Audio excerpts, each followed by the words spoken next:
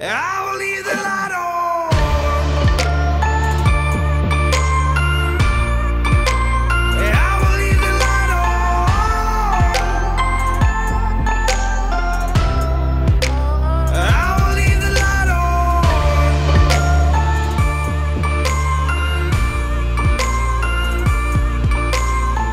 show felt like really positive to me. War Child is such a, an amazing charity. It really makes a difference. To be hindered at such a young age and everyone needs a chance. What War Child are doing is really great and it, it touches base with me. Really excited to have a jump around. You really feel like there's a connection with the crowd rather than getting kind of lost in a sea of people.